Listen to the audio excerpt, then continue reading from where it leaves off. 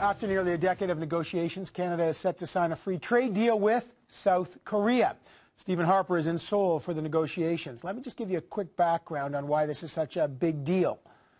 The deal would be Canada's first trade deal in the Asia-Pacific region. There are concerns, though, from the auto sector that the deal would end the tariff on car imports that flooding the market with Korean cars. So you may see more Kias and Hyundais. However, Canada's agricultural industry may benefit from increased sales of beef and pork. Trade with the South Korea took a dive after the U.S. and the EU signed trade deals in the last few years. So pork producers here basically lost a lot of business.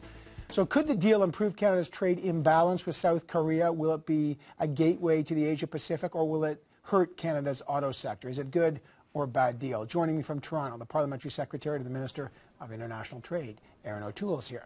In Vancouver, Don Davies, the NDP's international trade critic, is here. And with me in studio, Wayne Easter, the Liberal public safety critic. All right, let's start with you, Mr. O'Toole. Uh, the auto industry, uh, which is, by the way, the biggest chunk of the business we do with uh, South Korea. They're not happy with the deal, saying over 30,000 jobs could be lost in Ontario. Right now, there's about a, I don't know, 6.1% tariff on imported vehicles. They say if that's removed, Kias and Hyundais, Korean cars are going to flood the market and put them out of business. What do you say to the auto sector? Well, listen, Evan, this deal has tremendous potential for all sectors, including in the long term auto.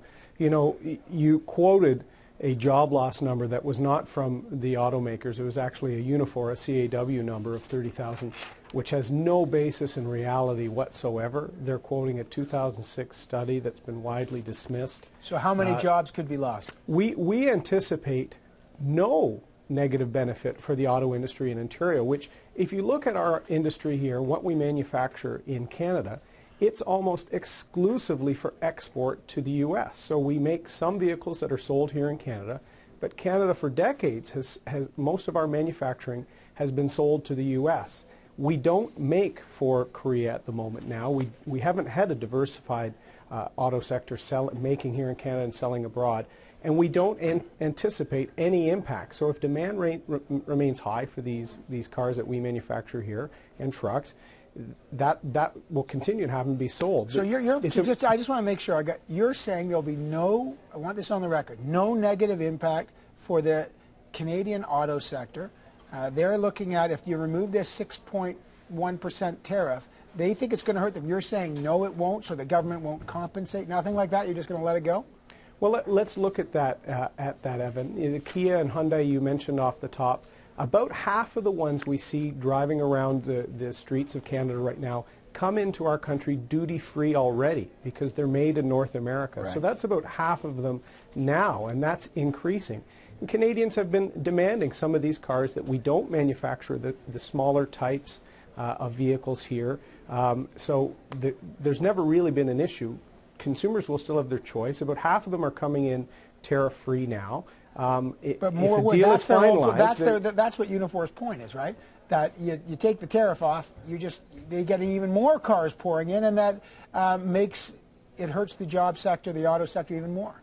But they're not displacing the types of cars we're making here, Evan. That's, that's what I'm trying to, to, to get through here is what we make in Canada, including in my area, the Durham region with General Motors, we make vehicles that are primarily consumed by Canadians and about 88% of them in the United States. So we sell to that market. We will continue to do that. So the jobs related to those those uh, those hmm. auto ma manufacturing jobs in Ontario are for North America. So there are already vehicles coming in. So a U of T study from 2012 uh, said that the impact would be less than one percent of displacement in in auto in the auto sector. And you know we've had 4,000 vehicles. So so Don Davies, what's the problem here? You know, uh, other sectors, the agriculture sector has been hurt by the other free trade deals. They say we'll benefit, uh, and the auto sector may have to compete anyway.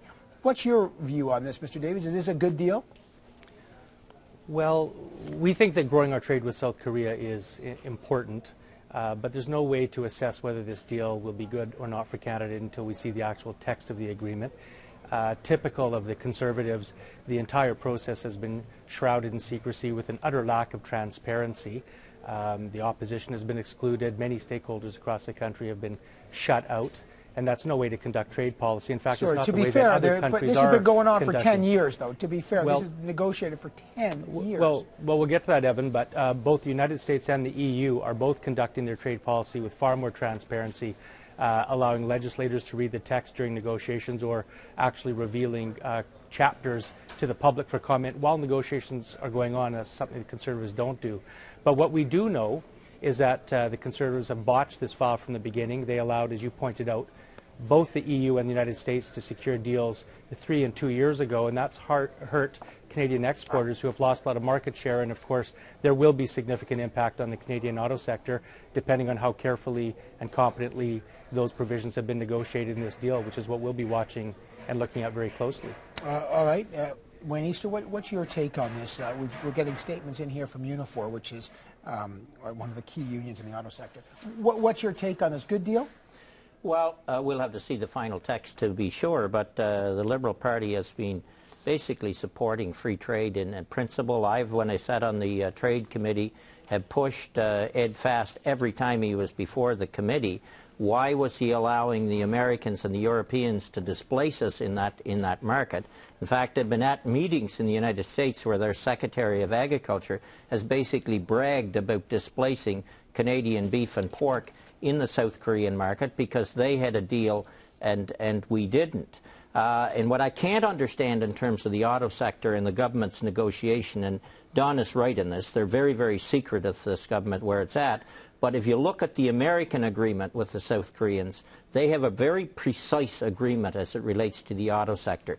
They assure more American cars will go into the South Korean market, uh, and they, they have a more complementary agreement than we believe that uh, the Canadian government is negotiating. But do you, what do you do? Are you pitting the agricultural community against the auto sector?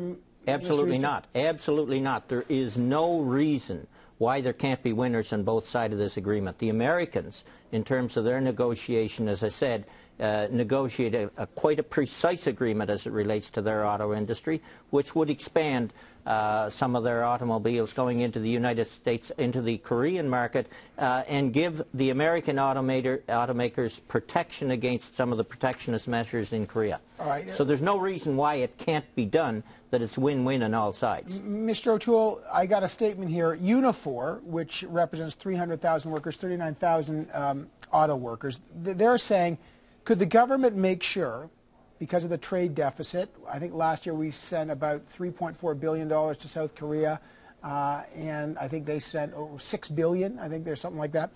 Um, they said, would you consider this tying reductions in tariffs um, to measurable targets to reducing trade imbalances in key industries like auto. One, requiring Korean firms to invest and create jobs here as a condition of a tariff-free access, and ensuring the government keeps the necessary powers to intervene directly to remedy trade imbalances. What do you make of those? Now, those are the union suggestions. I, I think, Evan, like any agreement, including the one we did with Europe, there's going to be a transition period, which includes the time to ratify uh, the agreement and for people and sectors to reposition themselves really to take advantage uh, uh, of this free trade agreement. Look, my, my friends here will criticize, you know, we, we've got a trade imbalance, all these sorts of things, yet they tend to stand in between our government advancing our trade agenda to diversify our trade relationships. So we have a great trade relationship with the United States and within NAFTA, and our government's been out there tirelessly growing new markets for Canadian goods and services. And, and the Prime Minister's been clear. He never makes a deal until he thinks it's in the net overall benefit uh, of the country. So we have all here the to deals. Can we rural uh, versus urban and, and auto Can versus we get farming. the details? Don Davies says he wants the details. What about so the whole country can analyze who benefits? When will the I- details? Will they be released before the signatures on the paper? I, think you'll see, uh, if the final stretch, if it's concluded, you'll see in a similar fashion to, to the European deal, much more detail right away on a regional and industrial breakdown. And look, the Prime Minister has personally got involved in this because, as you said, this has been out there for 10 years in one form or another. And it's the first agreement with an Asian country for free trade. And free trade overall will increase, it will, will shrink that trade imbalance that exists right now because our traditional hmm. trading partners in the U.S. and in, in Europe have had slow to sluggish growth. So I- they I haven't think- been importing point- as much see, stuff. this I think okay, the, last, is what's last word interesting, to I Evan. think the point has to be is- made here, though, while the government is negotiating trade deals, all we're getting on a surplus deficit basis is more deficits on trade uh, from this particular government. But Unifor's suggestions, uh, Evan, are good ones. If you look at how, uh, uh, how say, Honda and Japan uh, deal in the trade industry in Canada, they actually put a plant in Canada and create some jobs here. And I think that's what Unifor is, uh, is after. So it comes down to how does Harper and his crew negotiate this deal so as to benefit Canada, or are they just signing a deal to get a deal? Don- that's the bottom Don line. Don Davies, you want to weigh in real quick? Yeah, I mean, the, the experience of the United States and the European Union are directly opposite of what Erin just said. Since they signed trade deals, their uh, trade deficits in automobiles in particularly have gone drastically up. Uh, I've talked to a lot of American uh, business, uh, business people who have said that uh, the Koreans have to be watched very carefully because um, they, they bring in a lot of non-tariff barriers. And what happens is, is that uh, the Americans have not found that they've had the market access that they were promised. And so this is why I think Unifor's suggestions, as Wayne said, are, are very good. We should be expecting that any trade deal results in the creation of good Canadian jobs here in Canada. And that's any deal that doesn't do that, any trade, a trade deal just doesn't do that by magic. I mean, like, like Justin Trudeau said, budgets uh, balance themselves magically. He's wrong, and the Conservatives are wrong when they say that trade agreements magically create jobs. They have to be well negotiated, structured agreements, and we'll be watching carefully to see if the Conservatives have delivered. Uh, all right, uh, we'll be looking at the details. Uh, Stephen Harper in Seoul, South Korea. Uh, interesting details surrounding that trade deal. Parliamentary Secretary, the Minister of International Trade, Erin O'Toole. Always good to have you on, sir. And the NDP's international trade critic, Don Davies. Good to have you on, sir. And the Liberal public safety critic, who's in Ottawa. Remember, the MPs are back in their ridings for two weeks. Uh, but Wayne Easter's here, and this is far from his riding, but we'll try to figure on that one tonight. out. Back for tonight. All right, gentlemen, thanks. Thanks, you. Evan.